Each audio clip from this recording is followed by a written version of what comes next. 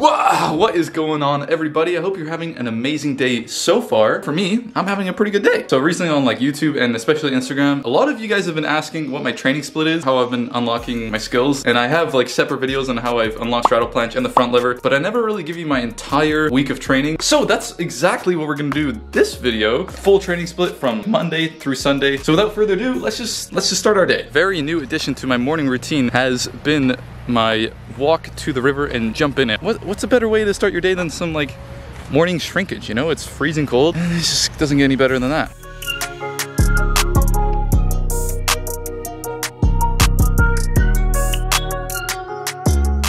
So I built quite the appetite from the walk-in and the swimming, so I'm ready to start eating some breakfast now. Three eggs and some yogurt. We're, we're gonna make it.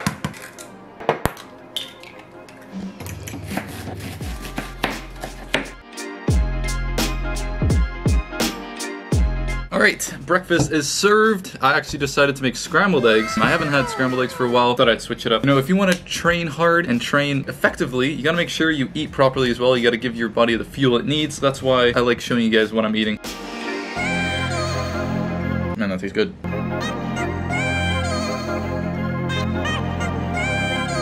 Mmm, I finished the cow nipple juice aka yogurt. Now we just let it digest and then we'll start training. So the food has been fully digested. I am light on my feet. I'm ready to start working out. Gonna have a quick little pre-workout. All right, honey on a cracker. Little, this is like the worst part of the day. Oh yeah, that's salty. All right, here we go. Okay. This is a lot better. Today is gonna be a planche workout. It's nice and sunny out. It's nice and beautiful. Let's get into the zone.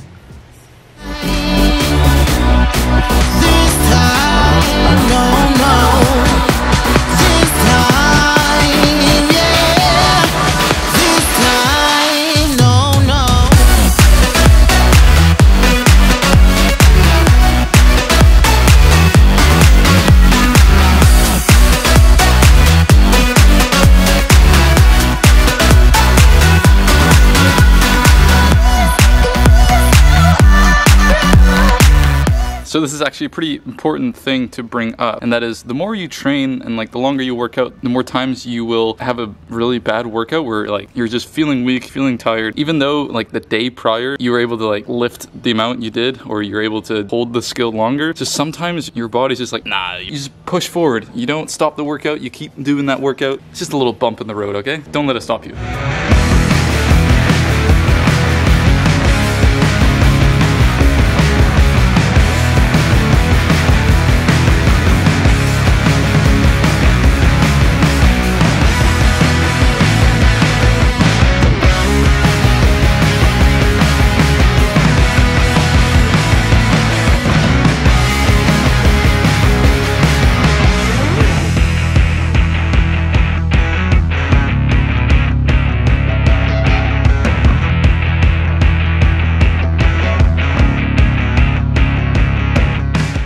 Resistance bands that I use all the time are pull up and dip. If you want to support me and you want to get yourself some high quality resistance bands or calisthenics equipment, click the link in my description where it says equipment I use. Use my code CRUZ10, save 10% off. You can support me, your favorite calisthenics athlete. If not, just you watching the video is enough support that I need. Thank you.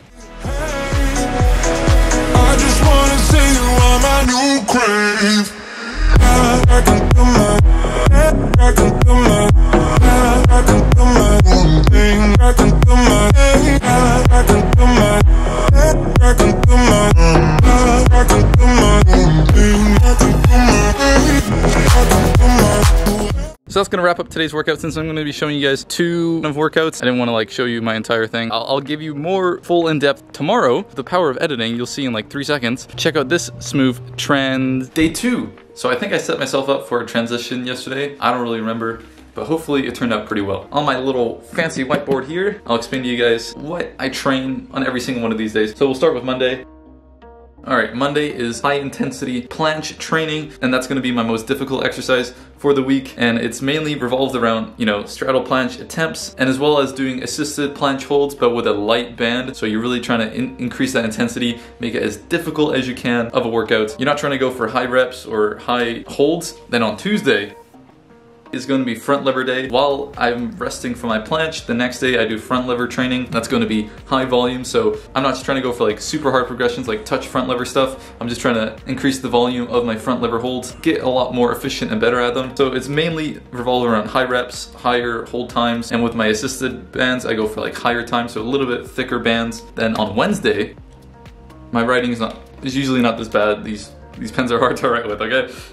Don't judge me. So on Wednesday is going to be planche once again because I'm a little bit more well rested from my Monday high intensity workout. However, I wouldn't be able to do another high intensity workout just two days after. I go for a high volumes, so the progressions are gonna be lower, you know, less difficult. And with my assisted holds, I'm going to go for more thicker bands. That way I can hold them for longer and not fatigue myself too much and, you know, hold the planche a little bit longer with a bit more assistance of the band. Then on Thursday, gonna be the exact same thing on Tuesday. Front lever training, high volume, build your back a little bit more, build the endurance. I'm not really focusing on like touch front lever at the moment. I will in the future, but right now I'm just trying to get as strong as I can with my front lever, pull it as long as I can on the high bar and the low bar. Not anything crazy intense. So my Friday workout is gonna be pretty much the exact same thing as on Wednesday. I probably would not be able to do a high intensity workout twice a week, so that's why I go for one high intensity and then two low volume, and that's gonna be the exact same thing as Wednesday. Like I said, lower progression holds, so I can hold them for longer. Oh, and I also forgot to mention on Thursday, I got gymnastics, but that's late at night. But that's more acrobatic stuff. Doesn't really affect my calisthenics as much. If you watch my, my video from two weeks ago where I did my legs and ab workout, that's gonna be on a Saturday. So yeah, Saturdays, legs and abs. You know, it's always good to at least train your legs once a week.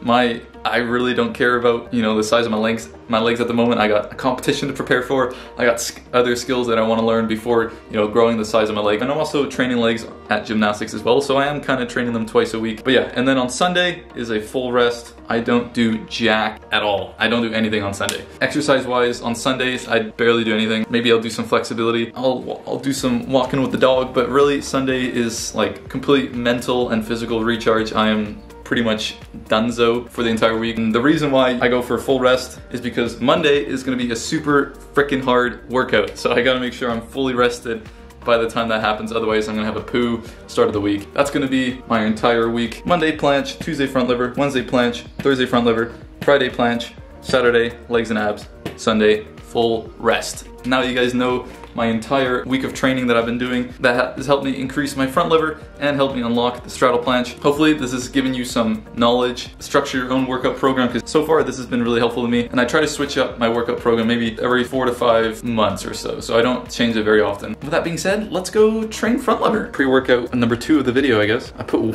I put way too much in it. This is gonna be bad.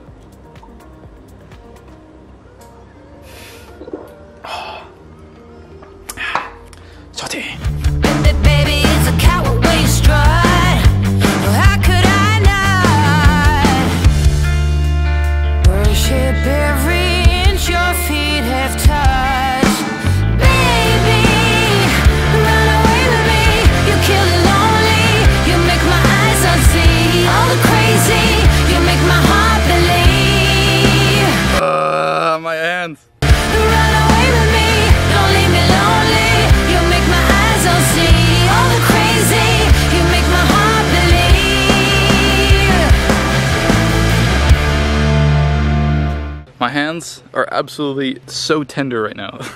it's so painful when you like, you, your hands are like super sore, you got mad calluses, and you try to grip the bar and your hands feel like they're on fire, like you're just shoving them in like the pits of hell. Oof, it's rough, but you gotta push through it. yeah.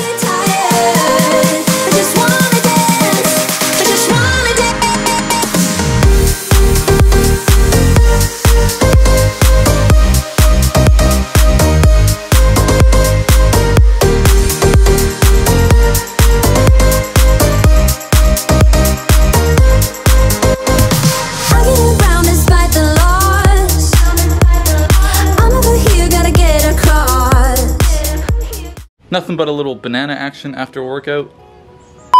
Here's a little pro tip if you're trying to eat a banana and there's like your homies are around, this is how you eat it. No sus, nothing sus about it, you still get to eat a banana. And with all that being said, I just want to say thank you so much for taking time out of your day to watch this video. I truly appreciate it. Hopefully this is giving you some insight how, on how I train. It's not going to work for everyone, but it works for me. But yeah, thank you so much for watching. I truly appreciate it. And peace out.